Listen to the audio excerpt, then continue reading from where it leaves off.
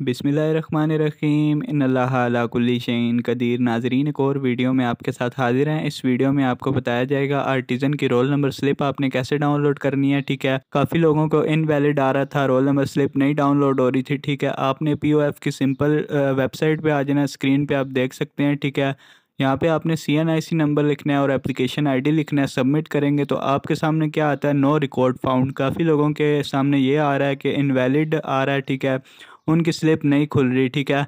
तो अभी आपको बताते हैं कि स्लिप कैसे खुलेगी, ठीक है? जिनकी स्लिप खुल रही है, उनकी किस तरह की स्लिप होगी, वो भी आपको बताते हैं। सबसे पहले आपको उनकी स्लिप दिखाते हैं, जो शॉर्ट लिस्ट हुए हैं, उनकी स्लिप कैसी होती है। ये स्क्रीन पे आप देख सकते हैं, ठीक है? इस तरह की स्लिप होगी आर्टिज़न की स्क्रीन पे आप देख सकते हैं। रोल नंबर स्लिप भी नीचे लिखी होगा, ठीक है? आपका पूरी पोस्ट नेम लिखा होगा।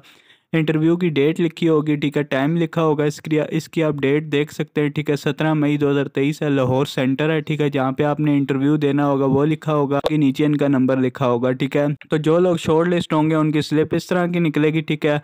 अब बात कर लेते हैं नो रिकॉर्ड फाउंड किस तरह आ रहा है, ठीक है? काफ़ी ज़्यादा लोगों का आ रहा है no record found invalid C N I C number ठीक है? अभी आपको बताते भी हैं कि किस तरह का आ रहा है, ठीक है? ये स्क्रीन पे आपसे स्क्रीन शॉट शेयर करेंगे, काफ़ी लोगों को इस तरह आ रहा है नो रिकॉर्ड फाउंड का ऑप्शन आ रहा है, ठीक है? जैसे ही वो सबमिट करते हैं। तो मेरी एच आर डिपार्टमेंट से इस इस हवाले में बात हुई है कि ये क्यों आ रहा है, ठीक है? तो एच आर डिपार्टमेंट वालों ने कहा है कि आप शॉर्ट लिस्ट नहीं हुए होंगे, ठीक है? ये नो रिकॉर्ड फाउंड जिसका भी आ रहा है, ठीक है? उसका मतलब है कि आप शॉर्ट लिस्ट नहीं हुए। मेरी उनसे कॉल पे बात हुई है, उन्होंने मुझे यही कहा है कि आप शॉर्ट लिस्ट नहीं हुए, ठीक है? अगर आपका ये आ रहा है तो। तो जिनका ये आ रहा है, वो समझ जाएँ कि वो शॉर्ट लिस्ट नहीं हुए, ठीक है? और इसके मेरिट की बात की जाए तो मेरिट इसका बहुत हाई लगता है। लास्ट टाइम इसका जो मेरिट लगा था पंजाब को, वो नाइन्टी लगा था, ठीक है? मैंने उस पर वीडियो भी बनाई थी, ठीक है? और इस दफ़ा भी यही 90 प्लस इसका मेरिट लगा होगा हाई मेरिट होता है इसका, ठीक है? और ये बात की जाए कि स्लिप किस प्रोविंस की लगी है तो सारे प्रोविंसेस की स्लिप लग चुकी है। के पी के की होगी पंजाब की होगी, जितने भी प्रोविंस हैं, सारों की स्लिप लग चुकी है। मेरिट डिफरेंट होता है सबका, लेकिन मेरिट हाई होता है, ठीक है? कम मार्क्स हैं जिनके, ठीक है एटी परसेंट हो गए, ठीक है मैट्रिक में या एफ़ एस सी में सत्तर परसेंट हो गए, वो तो उम्मीद छोड़ ही दें, ठीक है? उनका नाम नहीं आ सकता, ठीक है?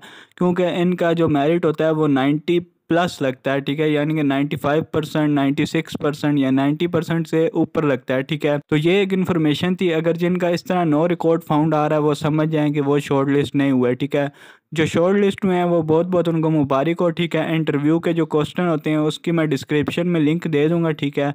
मैंने वीडियो बनाई हुई है कि इंटरव्यू में कौन कौन से सवाल किए जाते हैं, ठीक है? लास्ट टाइम भी बनाई थी, ठीक है? वो इसका मैं लिंक दे दूँगा डिस्क्रिप्शन में, वो आप देख सकते हैं, जो लोग शॉर्ट लिस्ट हुए हैं, ठीक है? और जो लोग नहीं हुए, कोई बात नहीं, ठीक है? आपने कॉमेंट बॉक्स में मुझे बताना है कि जो जो बंदा शॉर्ट लिस्ट हुआ है, उसने भी बताना है, और जो नहीं हुआ, ठीक है? जिसका रिकॉर्ड नोट फाउंड आ रहा है उसने भी बता देना है डिस्क्रिप्शन में कि मैं नहीं हुआ, ठीक है? तो ये एक छोटी सी इन्फॉर्मेशन थी, सोचा आपसे शेयर कर दी जाए तो ये थी आज की वीडियो उम्मीद करते हैं आपको पसंद आई होगी।